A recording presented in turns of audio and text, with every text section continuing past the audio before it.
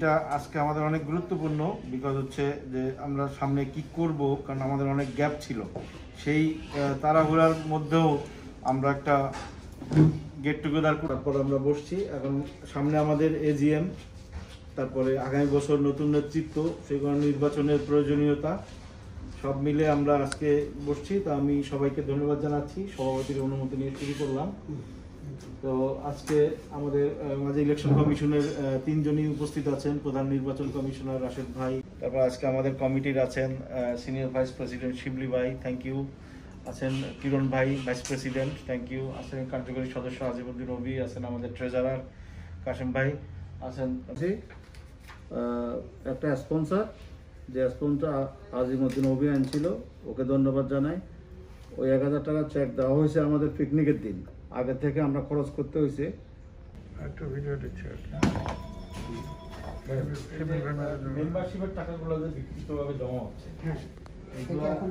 এগুলা ওই আঠারো জন আঠারোশো টাকা কি জমা হয়ে গেছে? আজকেরটা বাদ। না এই তিনশো বাদে পনেরোশো জমা হয়েছে। পনেরোশো জমা হয়েছে। হ্যাঁ। আচ্ছা থাকুক গতকাল পর্যন্ত জমা হয়েছে পনেরোশো। না ওটা লিখতেছি না বুঝলা? তাহলে না আমাদের সবারই বকে এটা করে বলুন এগুলি হচ্ছে গত বছরের টাকা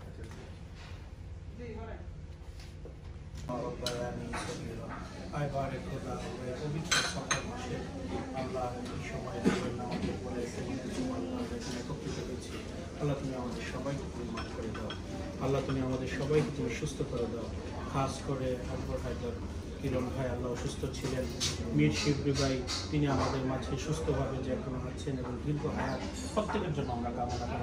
সবাইকে তুমি নেক হায়াত দিয়ে আল্লাহ সুস্থ দেহ এত বড় গুরুত্বপূর্ণ। হজরত মুসা আলাহি সাল্লাতাম তিনি আল্লাহর কাছে খুব বেশি প্রশ্ন করতেন এই বিভিন্ন কনভারসেশন করতেন। তো একদিন তিনি প্রশ্ন করলেন, হে আল্লাহ, আমি যদি মুসা আল্লাহ হইতাম, তুমি যদি মুসা হইতাম তাহলে তুমি আমার কাছে কি চাইতা? আল্লাহ বলেন তুমি কেন এই ধরনের প্রশ্ন করছ? তারপর বিরক্ত হয়ে আল্লাহ বললেন যে, আমি যদি মুসা হইতাম আর তুমি মুসা যদি আল্লাহ হইতাম তাহলে আমি তোমার কাছে সুস্থ একটা হায়াত কামনা করতাম। কারণ একটা সুস্থ হায়াত কত ইম্পর্টেন্ট যিনি অসুস্থ, তিনি মাত্রই অনুভব করতে পারেন। একটু অসুস্থতা, এটা কত কষ্টের। সবাইকে শুভ অপরাহ্ন। আপনাদের সাথে আমি আজকে একসাথে কিছু, খুব চমৎকার সময় কাটালাম। আমার সৌভাগ্য। আর আজকে প্রেস ক্লাবের যে আমাদের মিটিং ছিল বা মানে এই যে আজকে লাঞ্চ ছিল, খুব জমজমাট লাগছিল আর কি। মানে মনে হয় সবাই মিলে আমরা খুব আন্তরিক ছিলেন। আমাদের প্রেসিডেন্ট সেক্রেটারি আমাদের নির্বাচন প্রধান কমিশনার সবাই আপনারা ছিলেন আর কি। তো আমি তো জন্ম থেকে এই প্রেস ক্লাবের সাথে আছি। তো হঠাৎ করে আমার মনে হলো আর কি যদি জীবদ্দশায় যদি আমার সুযোগ হয়, যদি একবার প্রেসিডেন্ট হয় আর কি। আপনাদের আপনাদের কাছে পেশ করলাম আর কি যদি। নেক্সট টাইম যখন ইলেকশন হয় যদি আপনাদের সমর্থন আমি আশা করব। অনেক অনেক ধন্যবাদ।